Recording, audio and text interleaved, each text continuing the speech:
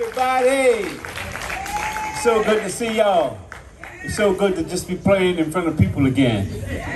It's yeah, we, you know, we, it's it's a nice it's a nice feeling. You know, for so many years we played we, we've been playing in clubs and around the world and festivals and so forth. And we took it for granted.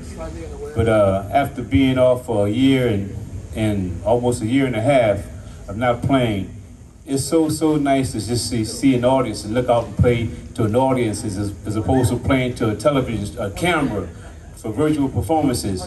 So uh, just give yourselves a nice hand of applause just for being here, just for being here and being a part of this.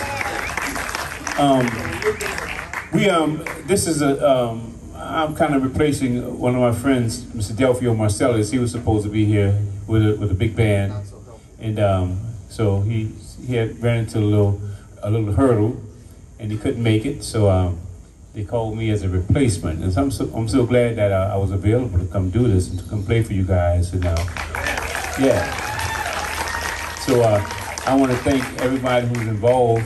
You know, Casey Lipcomb. Um, yeah, Michelle Vieira for, for, hooking us up, and uh, also uh, Brother Wayne for, uh, for offering his house to us. So thank you all so much for, for, for being here.